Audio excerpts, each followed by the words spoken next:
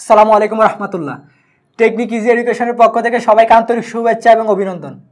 আজকে যে বিষয়টা নিয়ে আলোচনা করবে সেটা হচ্ছে নবম দশমের রসায়ন বইয়ের অষ্টম অধ্যায়ের একটা অধ্যায়, যার নাম হচ্ছে রসায়ন এবং শক্তি। ওই অধ্যায়ের একটা টপিক্সের নাম হচ্ছে গ্যালবানিক কুশ ওই গ্যালবানিক কুশের মধ্যে যে লবণ সেতুটা আছে, সেই লবণ সেতু মনে, লবণ সেতুর কাজ মনে রাখা সহজ টেকনিক নিয়ে আজকে আলোচনা করব। কীভাবে? এই জিনিসটা অনেকে বুঝতে কষ্ট হয়। যদি আমি একটু বলি আমরা জানি গ্যালবানিক কুশ জিনিসটা কি? গ্যালবানিক কুশ কাকে বলে? গ্যালবানিক কুশ হচ্ছে সাধারণত রাসায়নিক শক্তি সরাসরি যদি বিদ্যুৎ শক্তিতে রূপান্তরিত হয়, ওই জিনিসটাকে বলা হয় গ্যালবানিক কুশ এবং গ্যালবানিক কুশের মধ্যে আমরা জানি সাধারণত একদিকে ধনাত্ম একদিকে ধনাত্মক আয়নের পরিমাণ বৃদ্ধি পায়, আর একদিকে হচ্ছে ঋণাত্মক আয়নের পরিমাণ বৃদ্ধি পায়। এই দুইটা আয়নের পরিমাণকে সমতায়ন করার জন্য একটা সেতু বসানো হয়। সেই সেতুটার নামই হচ্ছে লবণ সেতু। যদি আমি এভাবে লিখি, সেতু বেনিস। সেতু সেতু বেনিস। সেতু বেনিস দিয়ে আমরা লবণ সেতুর কাজ মনে রাখতে পারব। কি? লবণ সেতু। লবণ সেতুর কাজ লিখতে পারব। লবণ সেতু কাজ কাজ মনে রাখতে পারব। মনে রাখতে পারব।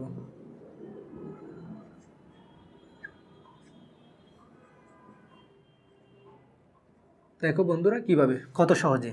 এই সেতু দিয়ে হচ্ছে, এই সেতু দিয়ে আমরা অবশ্যই কি হবে? সেতু বেনিস শুধুমাত্র এই লাইনটা একটু মনে রাখলে হবে। সেতু দিয়ে হচ্ছে লবণ সেতু। সেতু দিয়ে হচ্ছে লবণ সেতু। সেতু দিয়ে হচ্ছে লবণ আহ, সেতু দিয়ে হচ্ছে লবণ সেতু। আর এই জায়গায় বেনিস এই জায়গায় বেনিস দিয়ে হচ্ছে বেনিসের প্রথম বর্ণ দিয়ে হচ্ছে ভারসাম্য রক্ষা। ভারসাম্য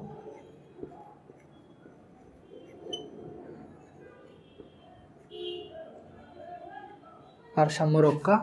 আর এই যে নি হচ্ছে নিরপেক্ষতা বজায়। নি দিয়ে হচ্ছে নিরপেক্ষতা। নিরপেক্ষতা নিরপেক্ষতা বজায় রাখে। নিরপেক্ষতা বজায় রাখে। আর এই জায়গায় স দিয়ে হচ্ছে সমতা রক্ষা অথবা অথবা সংযোগ রক্ষা, অথবা সংযোগ রক্ষা করে। অথবা সংযোগ রক্ষা। যদি আমি একটু প্রমাণ নিয়ে বলে যাই, প্রথমে আজকে আমাদের আলোচনার বিষয় হচ্ছে লবণ সেতুর কাজ মহারা কীভাবে সহজে মহা রাখতে পারব। আমরা জানি গ্যালভানিক কোষ হচ্ছে রাসায়নিক শক্তি সরাসরি বিদ্যুৎ শক্তিতে রূপান্তরিত হয়। আর ওই গ্যালভানিক কোষের মধ্যে ধনাত্মক আয়নের পরিমাণটা একদিকে ধনাত্মক আয়নের পরিমাণটা বৃদ্ধি পায়, একদিকে হচ্ছে ঋণাত্মক আয়নের পরিমাণটা বৃদ্ধি পায়। আর দুইটা অর্ধকোষ মিলে একটা পূর্ণ গ্যালবানিক কোষ। আর ওই গ্যালবানিক কোষের মধ্যে একটা সেতু ব্যবহার করা হয়। কী জন্য ব্যবহার করা হয়? একদিকে ধনাত্মক আয়নের পরিমাণটা বৃদ্ধি পায়, বন্ধুরা একদিকে হচ্ছে ঋণাত্মক আয়নের পরিমাণটা বৃদ্ধি পায়। তোমাদের বইয়ে এই জিনিসটা আছে, অর্থাৎ একদিকে হচ্ছে জিঙ্ক টু প্লাসের পরিমাণটা বৃদ্ধি পায়। আরেকদিকে হচ্ছে এই যে সালফেট টু মাইনাসের পরিমাণটা বৃদ্ধি পায়। এই যে একদিকে ধনাত্মক আয়ন এবং একদিকে হচ্ছে ঋণাত্মক আয়ন। এই দুইটা আয়নের পরিমাণ বৃদ্ধি পাওয়ার কারণে একটা সেতু ব্যবহার করা হয়। সেতুটা ব্যবহার করার কারণটা হচ্ছে যেন উভয়পক্ষে দুইটা আয়নের ভারসাম্যটা রক্ষা পায়। এই জন্য এই জন্য লবণ সেতু হিসাবে পটাশিয়াম প্লাস এবং ক্লোরিন মাইনাস এই জিনিসটা ব্যবহার করা হয়। এই যে ধনাত্মক জিনিসটা, তো যখন এই ক্লোরিনের সাথে যুক্ত হয়ে জিঙ্ক ক্লোরাইড গঠন করে হ্যাঁ জিঙ্ক ক্লোরাইড গঠন করে, একইভাবে এই যে সালফেটটা সরাসরি পটাশিয়াম প্লাসের সাথে যুক্ত হয়ে উৎপন্ন করে পটাশিয়াম সালফেট। যদি আমি একটু প্রথম থেকে বলি, আমরা জানি গ্যালবানিক কোষের মধ্যে দুইটা অর্ধকোষ থাকে, ওই দুইটা অর্ধকোষ মিলে হচ্ছে পূর্ণ একটা গ্যালবানিক কোষ। একদিকে ধনাত্মক আয়নের পরিমাণটা বৃদ্ধি পায়, একদিকে হচ্ছে ঋণাত্মক আয়নের পরিমাণটা বৃদ্ধি পায়। এখন প্রশ্ন হচ্ছে, ধনাত্মক আয়ন বলতে যে জিঙ্ক টু প্লাস আয়নের পরিমাণটা বৃদ্ধি পায়, একদিকে হচ্ছে সালফেট টু মাইনাসের পরিমাণটা বৃদ্ধি পায়।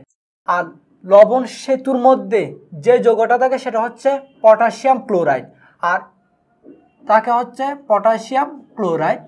আর এই যে পটাশিয়াম ক্লোরাইডটা সাধারণত ভেঙে গিয়ে হচ্ছে পটাশিয়াম প্লাস এবং ক্লোরিন মাইনাস। এবং এই জায়গায় একটা হচ্ছে ধনাত্মক আয়ন, একটা হচ্ছে কি ঋণাত্মক আয়ন। এই প্লাস আয়নটা এই জায়গায় মাইনাসের সাথে যুক্ত হয়ে পটাশিয়াম সালফেট আর এই জায়গায় জিঙ্ক টু প্লাস আয়নটা ক্লোরিন আয়নের সাথে যুক্ত হয়ে জিঙ্ক ক্লোরাইড গঠন করে। দ্যাট মিন্স এই সেতুটা ব্যবহার করলে এক নাম্বার পরীক্ষা আমরা যেভাবে লিখব, এক নাম্বার কাজটা কীভাবে লিখব? লবণ সেতু, যে দুইটা অর্ধকোষ আছে, ওই দুইটা অর্ধকোষের মধ্যে ভারসাম্য রক্ষা করে। লবণ সেতু, দুইটা অর্ধকোষের মধ্যে দুই নাম্বার লিখব লবণ সেতু দুইটা অধ্যকোষের মধ্যে নিরপেক্ষতা বজায় রাখে। তিন নাম্বার লিখব লবণ সেতু দুইটা অধ্যকোষের মধ্যে সমতা রক্ষা করে বা সংযোগ রক্ষা করে। তোমরা যদি এই বিষয়টা বুঝতে পারো, আমি পার্সোনালি আনন্দিত হব। Thanks for watching subscribe please technique is education YouTube channel